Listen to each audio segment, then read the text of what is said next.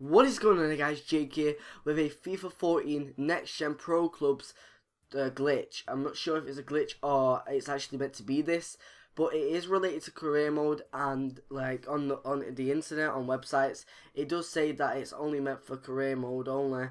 So yeah, it's pretty much a glitch. Now basically what it is, is it gets your virtual pro on pro clubs up to you know overall 92 93 94 95 depending on what your original overall was. So yeah as i said before it is related to career mode and the reason for that is there is well you obviously you'll know if you've got next gen or you're planning to get it that once once you make that transition over to next gen all your stats go on you know your seasons your ultimate team pro clubs, your pro at least, apart from uh, career mode. So what EA have done is they put three tiers in in place. Basically, if you played career mode, tier one is if you played at least 15 games, and then you get a plus one rating to your career pro. It actually puts it on pro clubs as well, which is pretty stupid. Well, I think it only puts it on pro clubs, which is pretty stupid. Tier two is if you played I think it's a season. I can't remember now. Wow, what an idiot. But tier 2, you get plus 3 pro uh, overalls. And tier 3, you I think you have to play over two seasons. And then you get the plus 5. So, yeah, that is basically it.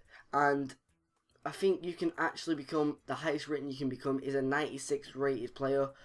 Because I think that the original highest rating pro you could be on pro clubs was 91. So if you get the plus 5, obviously going to be 96. Now, if you have a low rated pro and you get this, if you're like 81 and you get get your um,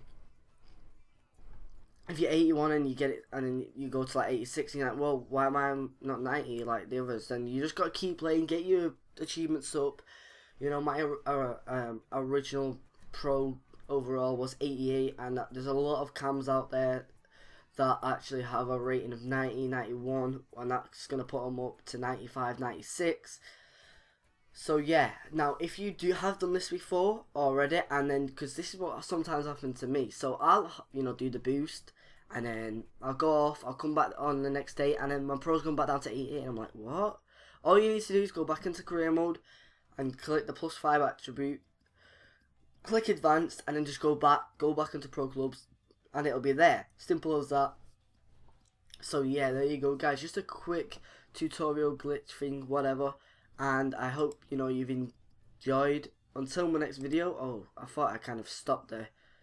Me, me speaking. That would be a bit weird. But yeah. I hope this has helped you out if you do plan to. Now, oh yeah. Also, this probably won't work if you switch from Xbox 360 to PlayStation 4 or the other way round. But yeah, I hope you've enjoyed it. I hope it's helped you out. Blah, blah, blah. Until the next video, goodbye.